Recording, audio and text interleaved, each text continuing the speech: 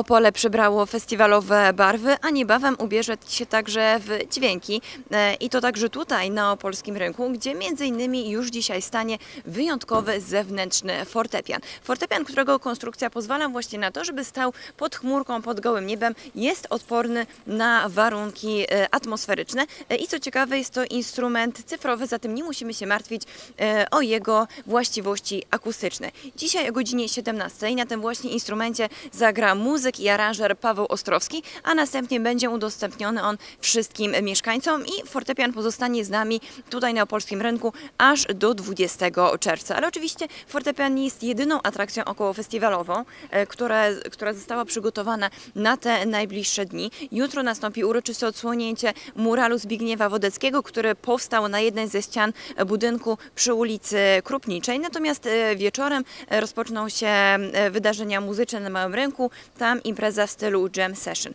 W piątek natomiast na Opolskim Rynku wystąpi zespół Ira. Przypomnijmy, ci muzycy w ubiegłym roku odsłonili swoją gwiazdę w słynnej Alei Gwiazd Polskiej Piosenki. To tylko kilka z wielu wydarzeń, które będą miały miejsce w naszym mieście. Pełna lista dostępna jest na stronie opole.pl i czas na opole.pl, zatem warto się z nimi zapoznać. Oczywiście wszystkie te najważniejsze wydarzenia festiwalowe będą miały miejsce w opolskim amfiteatrze. Podczas tych najbliższych dni e, Będzie żyło muzyką polską, tak jak przystało na stolicę polskiej piosenki.